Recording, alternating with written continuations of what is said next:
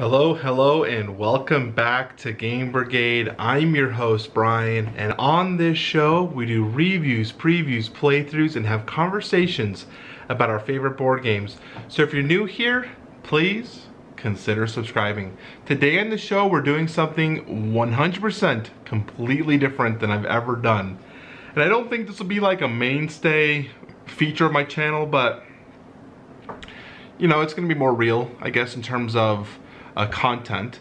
And so what we're doing is a vlog and it's gonna be a behind the scenes look of my studio, my setup, and how I film some of the content that you guys see. So if you're a person who, one, likes to see how things operate behind the camera, or you're kind of interested in maybe learning how content creation is done, maybe for your own purposes, maybe you want to do content creation of your own, I think this might be uh, a video for you. So let's go ahead and get started. I'm gonna try to make this as coherent as possible as we move through my room uh, and kind of talk about everything. So I think one of the most important things to talk about up front are the cameras. I don't necessarily think equipment um, makes or breaks a channel. I do think uh, if you have a phone, you know, this can 100% make any content that you need for content creation. Um, but for me, I have uh, moved beyond that. I've, I've been doing YouTube for maybe 15 years. I've been on YouTube for a long time. And so I've gotten to the point now where I've upgraded some of my equipment and I have more professional grade equipment, which I'm pretty happy with, uh, to try to bring the best content I can uh, to YouTube and to you guys. So what I have over here, first off, I have a dedicated section of my office, which is pretty much for my lenses, my cameras.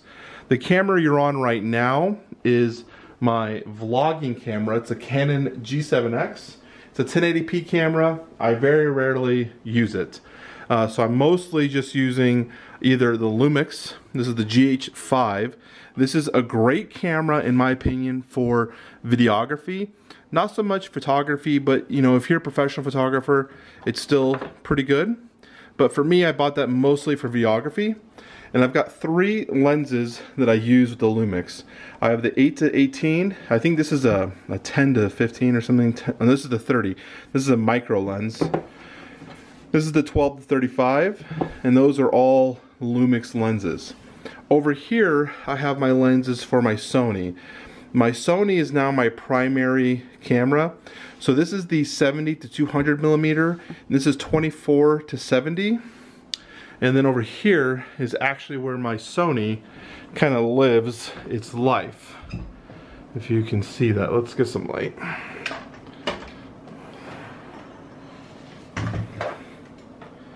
Get some light back here. Okay. So this is my Sony that pretty much is my main cam uh, camera at this point for all my content creation. It's a Sony A, uh, A6600 and I have a Sigma lens on here so it's not a Sony lens it's a Sigma lens but I've been very impressed with it and if you see back here it's hardwired and it hardwires in back here through that cam link right there which is how I turn my DSLR cameras into a webcam which is a great feature I don't think a lot of people know about that and I think it's incredibly useful.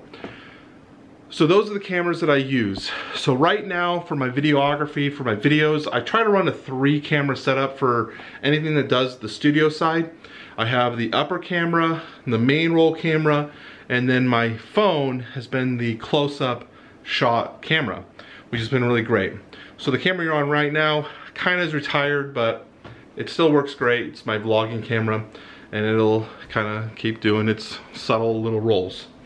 Over here, this is probably like the least exciting part of my office. I have just a lot of doodads and equipment. Here is equipment that I use for studio if I need like a play mat for something or if I need uh, extra cables, um, microphone stands. Everything is in there. Um, other than that, nothing too exciting in terms of work. Up here I do have my laptop, which I have to use to transfer all of my data from the cameras onto that. And then I transfer from that to the PC. It's really a headache, um, but it's the only thing I have right now for that system.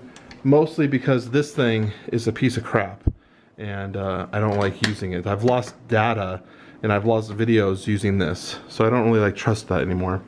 And then I've got my own coffee machine because I like coffee and uh, I'm kind of bougie with the coffee that I want to drink. So I got the cheapest coffee maker I can because I'm, I'm weird like that. Over here, I have my board game wall, which has been seen before. I'm pretty proud of it because I've added the LED lights that you can see. Those were kind of my Christmas gift to myself and a little project I did over the over the couple of, you know, the holiday to um, kind of brighten this space up and I love it. The lights are also customizable so I can change the colors full RGB, um, but I mostly keep them on this. You'll notice I've got some spacing here and over here. That's because I'm trying to uh, kind of clean it up for uh, more games that are beginning to be coming soon. Uh, so I needed some more space and I'm planning on maybe doing a video on games that I'm selling. So there's that. Okay. So then we've got the actual studio equipment. You can see here I have my overhead camera or overhead, yeah it is my overhead camera. It's my overhead um, setup, my boom arm on the tripod and which is interesting what I like to do, you'll see on the bottom of this Lumix I have the hookup already pre-assembled so I don't have to do anything. I just come in here and I click it up right here and we're good to go. And then I got the battery pack here so I don't have to worry about power and I just plug her right in. So that this is a multi-system here setup. Uh, I connect it here. You can see this thing, the hard thing about this thing is this arm wants to sink to the weight of the camera. Um, having heavy cameras like those Lumix, makes this a very difficult setup, but I'm not gonna mount anything to my ceiling. That, that, that's not an option. The other uh, tripod that I would use would be this guy. Uh, currently it's put away, but normally this guy would be right here underneath that, and it's what I use for my main role. So as, as I'm sitting in the studio chair, that's the camera I'm looking into and talking to the to the to the you guys, the viewers. My new tripod is this one here. Same system, but I use this one with a special arm here for the phone. So I can connect my phone to this and then film off of that. I then have three studio lights, here, here, and the other one right now is pointing that way. This came as a three pack and I love the studio lights. We can adjust the color grade, so right now we're at 46K. I can lower this down to 32, which is like incandescent lighting. Uh, we can go really high up if we wanted to go up to like 56. I find 46 to be the number I like. I can also change the brightness and I could do RGB on these as well. Um, let's go talk about the setup over here. So this is the corner. I call it the corner because it's obviously the corner of my office and it's kind of my dedicated filming space. We did this, me and my uh, father-in-law put this wall in. This is real wood, uh, real barn wood, and I was super impressed with how this came out and it really transformed the space. And then I kind of just took knickknacks from around the house to finish filling out my area. So here you can kind of see some of the stuff we have. I've got a Game of Thrones horse, the Throcky horse, got that from Comic-Con. Uh, some dragons, Game of Thrones egg. Got a baby Yoda holding resin uh, with mosquitoes in it from, you know, Jurassic Park. That's real though. I try to keep a game on display here, the game I'm currently playing or working on. And then the dragon, and then more games down here. And over here, again, I have more games. Now these games are games that I try to keep on display either because I love the box art or it's a game that I'm currently working on. And then on top, I just have more knickknacks, things that have special meanings for me, more Baby Yoda. We like Baby Yoda in this house.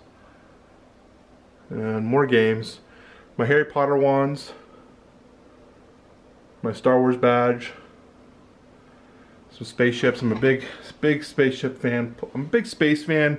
Plus I like Halo, I like Mass Effect. Some more games over here. Some of my favorite books. So that comes to a conclusion for this side. But we can come back over here now and talk about this studio. So here I have my microphone. I actually have two of these. So the microphone that I'm using on my computer is the same microphone that I'm using here. These are Shure SM7Bs. These require phantom power to operate fully and I'm running on a cloud amplifier to boost the signal. Normally I hide everything down here. Uh, because I only have one recorder, the I have to transfer between the computer depending on what day I'm filming or what I'm doing. I have to transfer. But normally I keep everything down here to hide it so it's out of view. I love this microphone. I love the clarity of the microphone. Um, the fact it requires phantom power is a little annoying because it's just more money to pay for things. But overall, it's been a great little little device. And then back here, I do have hidden back here, this is where I keep my lav mic if I want to record on a lav instead of a stand-up microphone. I just don't like the ruffling sounds that mics, those mics make. And uh, so I just don't use it as often as I probably should. Let's talk about the recorder because that was an important part of the feature that I didn't really cover. So over here, you see I have my secondary mic, same mic, but this one's attached to a boom arm. And it comes around here to my Zoom recorder. This is an H6 recorder. And what's great about this is originally I was gonna run a podcast on the show. So back here, you can see there's hookups for different types. There's four total hookups here. Here, two here and two here. And then you can see the channels here. So I guess you can't really see them, but there's four channels here. So what this does is actually as you're recording or talking, it films or it records each individual person on a separate wavelength so that you have individual audio for them. And this also generates the phantom power to power your microphone, which is great. And I was able to find out that I can connect this to my computer to actually turn it into a microphone for my computer, which has been incredible. So I don't have to use my headset mic anymore for gaming or just talking on Discord. I actually use my professional studio mic for any kind of communication now, which has been a big plus. So that's that's pretty much my studio. The last thing that's the newest thing is actually my computer. Uh, I bought this computer. Let's turn the this light off. I bought this computer. I actually built this computer because my wife's went down and she needed it for work. So I gave her mine, my old one and I decided I'm gonna build a new one that's gonna be my editing machine. So this has, I believe, a 16 core um, uh, AMD Ryzen with 128 uh, gi uh, gigs of or, uh, memory. I can't remember what they're called now. Sounding like a real freaking idiot. But I did build the thing, okay guys? I built this thing myself. It's got 10 fans. It's freaking absurd. I went a little nuts. I will admit that. But it's cool. It's mine and I'm happy with it. So that's the studio. I hope you guys enjoyed this. I've been wanting to do a studio tour for like a few months now. It's actually, it's been on my docket. I just keep pushing it back because I had other things I was wanting to do. Um, but I wanted to do a studio tour, kind of show you guys behind the scenes of my office and the setup that I have going on here. Hopefully you guys enjoyed it. Uh, I would love to do more vlogs. I just don't know how they would integrate into the channel and, and whatnot. So hopefully you guys enjoyed this uh, for now. I will talk to you all very soon. Talk to you in the comments. Bye-bye.